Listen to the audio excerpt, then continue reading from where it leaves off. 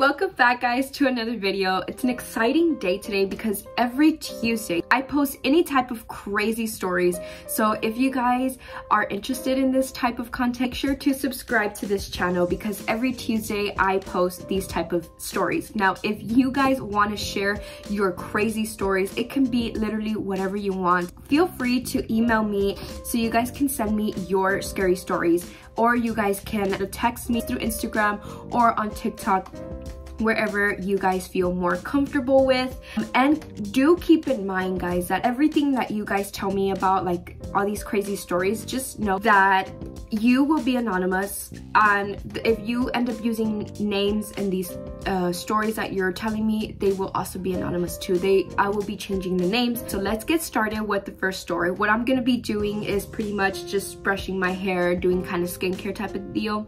So let's get to the first story. So this story is called the hitchhiker that never was um, it's about an old man who is driving back home from a family event. He was driving peacefully until there was this young girl in the side of the road who was flagging him down with her sweater. So keep that in mind. He was like, you know what? He slows down for her. He rolls down the window and he asks this young lady how um, how he could help. Of course, she asked him that if she can have a ride to her grandma's house. He said, yeah, sure. He had, he didn't mind taking her for a ride, so he ended up taking her. Seeing you know, guys, they were having a real nice conversation.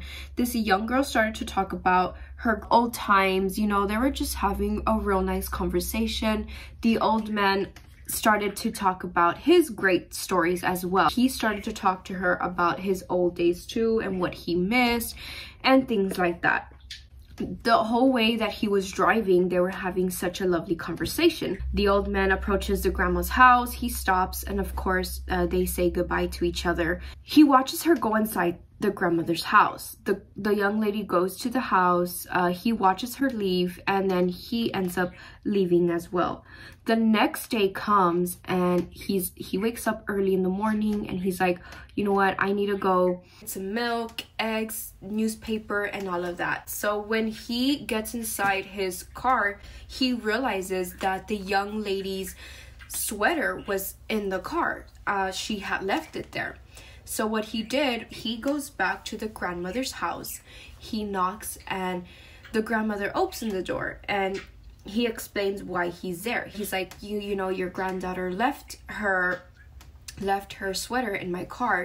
The grandmother stares at him and she's like, "No." She goes, "I think you have the wrong address." And he's like, "No, I don't think so." She's and she stares at him and she starts to tell him my granddaughter died many, many years ago, and this is how the story ends. Let's move on to the second story, which is called the new this new old house. So one day a young couple bought this old house, right? Um, as they bought it, the the new couple were re pretty much remodeling the inside of the house. The boyfriend of this girl was constructing the the whole entire kitchen to make it into a master's bedroom. While the girlfriend's duty was to remove all the old walls from this house.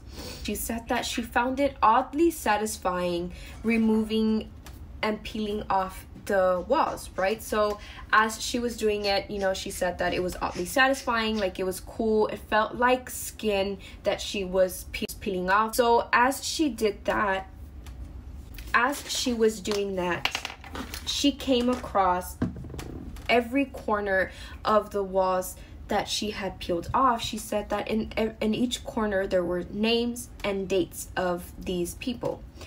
She said that the curiosity got the best of her and she searched up on the internet um, the name of these people and the dates turns out guys there were actually missing people that were written in these walls.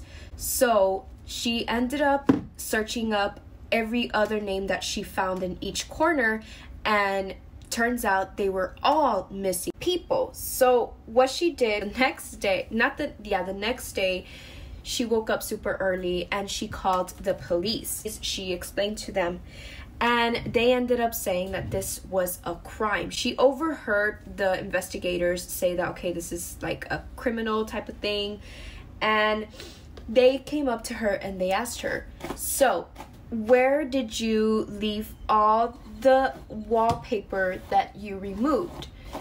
And I'm guessing she told them where, and they were like, "Okay." They go because the wallpaper that you were removing, it was not wallpaper. It was actually the skin of the people that were missing. That's what they told her. That's how the story ends. It ends by the cops telling her that the the stuff that she was removing from the walls it turned out to be the missing people's finding out that yeah it wasn't wallpaper all this long. It was skin that she was removing which is why she said that it felt like skin. But you know it's not gonna cross someone's mind to be like oh okay yeah like this is skin. No. But that's freaky. Okay guys um keep in mind that this is a very short story so it's gonna finish quick but this one is called there's someone under my bed. So i'm gonna take off my hairs real quick. All right so let's get to it there's this family who are already getting ready for bed, you know, because the next, because the kids the next day have to go to school, the dad needs to go to work, and the mom has to go to work as well. So they're getting the kids ready for bed, and the dad's like, you know what, I'm gonna, he goes to the daughter first, and he kisses, he tucks her in bed, he kisses her goodnight. The next thing you know, he goes to his other daughter, and tucks her to bed and kisses her goodnight. So now that he knows that those two are ready for bed, he goes to his son. And as he's tucking him to bed, his son tells him, Dad, can you check under my bed to see if there's any monsters? The dad doesn't want to argue with him. The dad doesn't want to tell him, like, there's nothing, because you know how parents are, right? Like, oh, no, it's nothing. Don't worry about it. So the father doesn't argue and he checks under the bed. My face is done, by the way. He checks under the bed. Next thing you know, as he looks under the bed, he sees someone that looks exactly like his son.